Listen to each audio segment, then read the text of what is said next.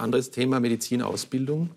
Ähm, Sie wissen, dass ähm, etwa 84 Prozent der fertigen Mediziner, die aus Deutschland kommen, innerhalb der ersten drei Jahre wieder nach Deutschland zurückgehen. Ähm, bilden wir hier den Ärztenachwuchs für Deutschland aus um österreichisches Steuergeld? Also das Thema Ärztebedarf, Ärztenachwuchs, äh, wo sind die Schrauben, die wir drehen müssen, damit wir hier eine gute ärztliche Versorgung in Österreich garantieren können, ist eine ganz entscheidende und ganz wichtige. Aber das große Thema, ich möchte diese Entscheidung nicht treffen aufgrund oder basierend auf der derzeitigen Datenlage. Warum nicht? Weil wir hier drei verschiedene Datensysteme haben. Das ist die eine, die Sie angesprochen haben, die der Medizinstudenten. Diese Daten kommen aus dem Wissenschaftsministerium.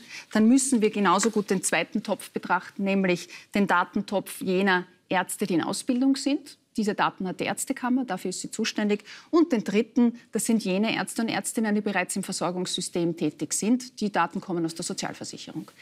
So, Wichtig ist, dass wir hier ein Gesamtbild haben, dass wir diese drei verschiedenen in der Mediziner- und Ärzteausbildung äh, äh, notwendigen Bereiche hier zusammenfassen, dass diese Daten hier in ein sinnvolles Gesamtbild gegossen werden. Das habe ich vor wenigen Wochen hier beauftragt. Bis Juni wird ein Bericht dazu vorliegen. Und dann werden wir mit den Verantwortlichen wieder aller äh, nämlich Sozialversicherung, Bund, Länder, hier ins Gespräch kommen, auch mit dem Wissenschaftsministerium, das ja für die Studien verantwortlich ist, das, was Sie jetzt hier angesprochen haben, auch mit der Ärztekammer, um hier die nötigen Schrauben zu drehen, damit wir den Ärztebedarf für die nächsten Jahre und Jahrzehnte in diesem Land jetzt äh, planen können. Und ich sage, wir müssen es jetzt beginnen und nicht erst in zehn Jahren. Ich bin ja immer ein bisschen erstaunt, äh dass wir diese Datenlage noch gar nicht haben. Waren Sie darüber auch erstaunt?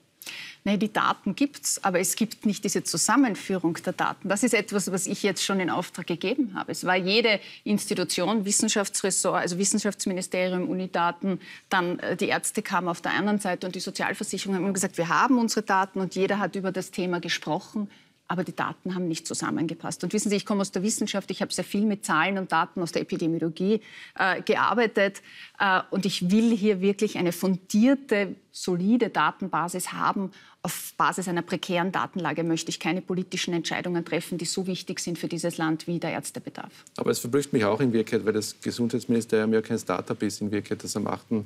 März auf den Markt gekommen ist, äh, dass es keine, keine Zusammenführung der Daten bisher gab. Aber ich will auf was anderes raus.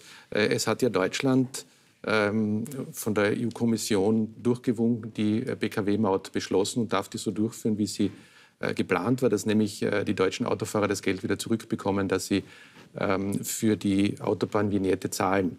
Äh, wäre so ein System nicht auch für Österreich, für das Medizinstudium denkbar, dass man sagt, in Wirklichkeit, man macht eine Studiengebühr und die österreichischen Studenten, Medizinstudenten, bekämen das Geld dann wieder zurück? Wäre das nicht eine sinnvolle Lenkungsmaßnahme zum Beispiel, um mehr österreichische Studenten im System zu halten? Also es äh, wäre wahrscheinlich eine Möglichkeit und ein Vorschlag, den man diskutieren könnte von einem Bündel von Vorschlägen. Aber wie gesagt, ich möchte diese Vorschläge erst diskutieren, vor allem mit den Zuständigen, nämlich dem äh, Wissenschaftsminister äh, an allererster Stelle, wenn wir die Daten auf dem Tisch haben, ob wir denn hier überhaupt ein Problem haben. Vielleicht sind es nicht die deutschen Studenten, die hier abwandern, die das große Problem sind. Vielleicht haben wir ja genug Ärzte und derzeit scheint so, weil die Ärztedichte in Österreich pro Kopf Ärztedichte in Österreich ist äh, gemessen an dem EU-Durchschnitt sehr hoch.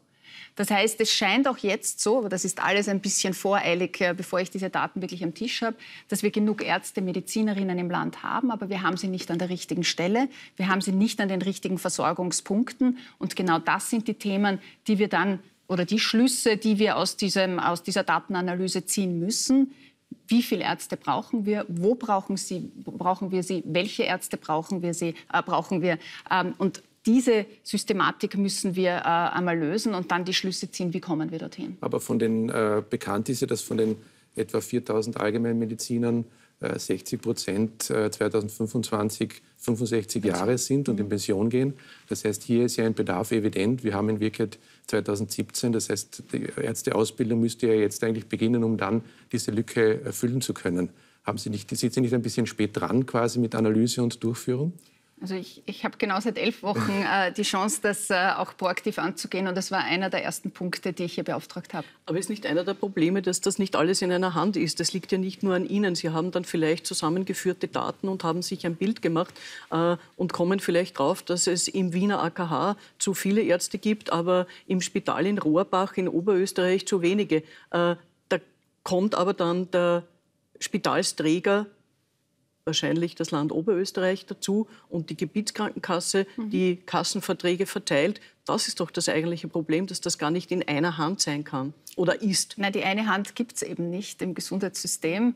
Äh, die berühmte eine Hand, da gibt es eben viele Hände. Aber es gibt jetzt eine gute Struktur, eine gute Arbeitsstruktur im Rahmen der Bundeszielsteuerungskommission, die am 30. Juni ihren nächsten Tagungstermin hat, wo alle Landesgesundheitsräte, das heißt die politisch Verantwortlichen der Bundesländer, vertreten sind, alle hohen Führenden, äh, auch der Sozialversicherung. Alexander Bier als neuer Verbandsvorsitzender wird dort seine erste Sitzung mit uns bestreiten. Und wir müssen gemeinsam, da bin ich ganz bei Ihnen, alle Verantwortlichen genau hier diese Lösungen diskutieren, weil man kann hier nicht nur sagen, was ist im AKH los und in Rohrbach. Und genau das haben wir aber eigentlich im Fahrplan 2021 für die nächste Gesundheitsreform schon beschlossen, dass wir hier ganz klar darauf schauen, Versorgung des ländlichen Bereichs in den nächsten Jahren, ganz wichtiges Thema.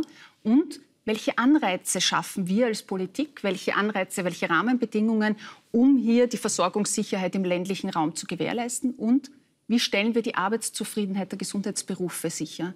Nämlich um hier sichere und genug Ressourcen zu haben, um ein intaktes Versorgungssystem gewährleisten zu können. Dann ist das System reformwillig genug? Weil die frühere Chefin des Hauptverbandes ist jetzt zurückgetreten und hat gesagt, ich werfe das jetzt hin, weil da geht nichts weiter und ich spüre zu wenig Reformwillen. Also ich sage Ihnen, in der Woche, wo Ulrike Radmann-Koller hier zurückgetreten sind, genau in dieser Woche haben sich alle politischen Spitzen der Bundesländer und der Sozialversicherung und meinerseits darauf geeinigt für einen Fahrplan der nächsten fünf Jahre, genau mit den eben besprochenen Punkten, die wir hier umsetzen wollen. Äh, wir werden das jetzt auch unterschreiben. Dazu gibt es ein ganz klares Commitment.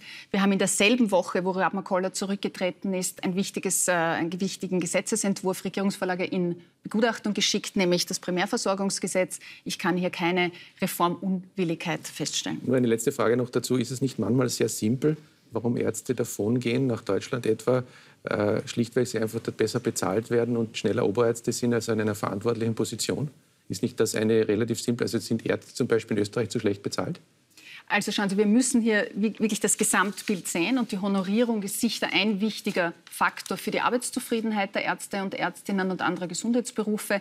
Und wie gesagt, wir müssen hier attraktive Arbeitsbedingungen schaffen. Das wollen wir auch mit den neuen Primärversorgungszentren und Anreizsysteme schaffen, damit es Ärzten und Ärztinnen attraktiver erscheint, erstens in Österreich zu bleiben, in ländliche Regionen zu gehen und dort versorgungswirksam zu werden. Das sind ganz wichtige Punkte, die wir in den nächsten Jahren gemeinsam mit den Verantwortlichen lösen und umsetzen werden.